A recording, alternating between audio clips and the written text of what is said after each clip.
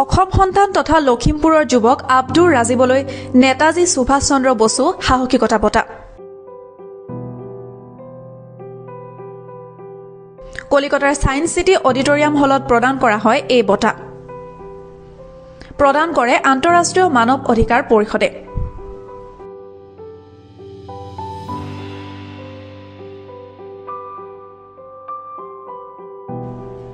যোৱা সোতৰ জানুৱাৰীত অনুষ্ঠিত হোৱা এই বঁটা প্ৰদান অনুষ্ঠানত আন্তঃৰাষ্ট্ৰীয় মানৱ অধিকাৰ পৰিষদৰ ফাউণ্ডাৰ ডঃ ছানি শ্বাহে প্ৰদান কৰে এই বঁটা।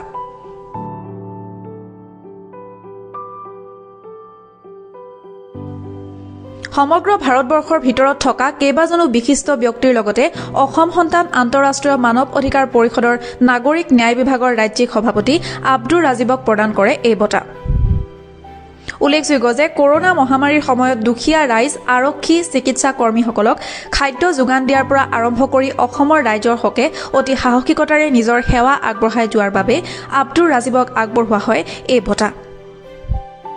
যাৰ বাবে আব্দুৰ ৰাজীৱক এতিয়া অসমৰ বিভিন্ন দল সংগঠন অনুষ্ঠান প্ৰতিষ্ঠানে শুভেচ্ছা জ্ঞাপন কৰিছে।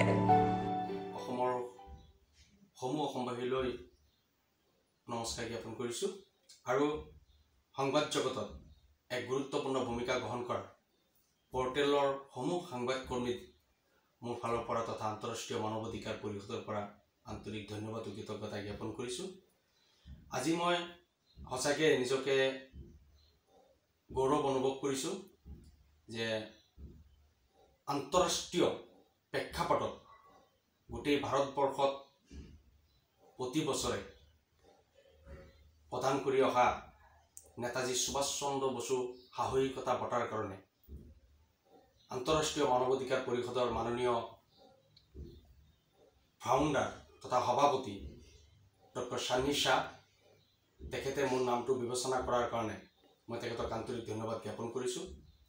যোৱা সোতৰ জানুৱাৰী তাৰিখে কলিকতা ছায়েন্স চিটি অডিটৰিয়াম হলত এই বঁটা প্ৰদান কৰা হয় আৰু মোক অসম সন্তান হিচাপে মোৰ নামটো এই সাহসিকতা বঁটাৰ কাৰণে বিবেচিত কৰিছিলে। যোৱা লকডাউনৰ সময়ত যিমান পাৰিছিলোঁ ৰাইজৰ মাজত সোমাই এই কৰোণাক ভয় নকৰি এই কৰোণা মহামাৰীৰ সময়তো ৰাইজৰ মাজত থাকি ৰাইজৰ কাষত থাকি দুৰ্গত যিসকল ৰাইজ আছে জনসাধাৰণৰ ওচৰত কিছু পৰিমাণে খাদ্য সামগ্ৰীৰ পৰা ঔষধ পাতি যোগান ধৰাৰ যি কাম কৰি আহিছিলোঁ। আৰু বিভিন্ন সময়ত চৰকাৰৰ বিৰুদ্ধেই হওক দুৰ্নীতিৰ বিৰুদ্ধেই হওক এক শক্তিশালী ভূমিকা গ্ৰহণ কৰাৰ কাৰণে তেখেতসকলে মোক যি সাহসিকতা বঁটা প্ৰদান কৰিলে সেই বঁটাৰ কাৰণে মই অন্তঃস্থলৰ পৰা মই ৰাষ্ট্ৰীয় সভাপতি ডক্টৰ চান্নি শ্বাহ সাধাৰণ সম্পাদক কমল ৰাজ ছেত্ৰীলৈও আন্তৰিক ধন্যবাদ জ্ঞাপন কৰিছোঁ। আৰু এনেকুৱা ধৰণৰ বঁটাই মানুহৰ কৰ্মজীৱনত আৰু উদ্যমেৰে কৰ্ম কৰি যাবৰ কাৰণে প্ৰেৰণা যোগায় বুলি মোৰ অনুভৱ হৈছে। আৰু আজি মই নিজকে গৌৰৱ অনুভৱ কৰিছোঁ যে মোৰ নিচিনা এজন এই অভাজনক এই বঁটাৰে সন্মানিত কৰাৰ কাৰণে সঁচাকৈ মই আজি আপ্লুত হৈছোঁ।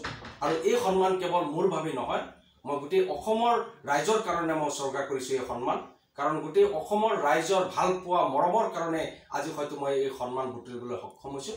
গতিকে অসমৰ লগতে সমূহ অসমবাসীৰ সদায় দুৱা আশীৰ্বাদ। আৰু তেখেতসকলৰ অসমবাসী ৰাইজৰ কাৰণে সদায় মই কাম কৰি যাম। আগন্তুক দিনত যাতে মই কেৱল বঁটাৰ কাৰণেই কাম কৰা নাছিলোঁ। মই কেৱল সন্মান পাবৰ কাৰণে কাম কৰা নাছিলোঁ। মই কাম কৰি গৈছিলোঁ কিন্তু সন্মান কাম কৰি গ'লে দেখা পাওঁ যে সন্মান নিশ্চয় এদিন নহয় এদিন আহিবই। গতিকে মোৰ সেই উদ্দেশ্যেৰে কাম কৰি গৈছিলোঁ। আগন্তুক দিনতো মই সকলোৰে সহায় সহযোগিতা কামনা কৰি ইয়াতকৈ আৰু ভাল কাম কৰি আৰু অসমৰ কাৰণে যাতে গৌৰৱ কঢ়িয়াই আনিব পাৰোঁ তাৰ কাৰণে মই সদায় প্ৰস্তুত থাকিম। আৰু অসমৰ যি সংবাদ কৰ্মীসকলে মোক বিভিন্ন সময়ত যি প্ৰেৰণা তেওঁলোকৰ যি সহযোগিতা তাৰ কাৰণে মই সদায় তেওঁলোকৰ ওচৰত কৃতজ্ঞতা তেওঁলোকক মই কৃতজ্ঞতা জ্ঞাপন কৰিম আৰু তেখেতসকলৰ সহযোগিতাই আগন্তুক দিনত আগুৱাই যোৱাত আৰু সহায় কৰিব।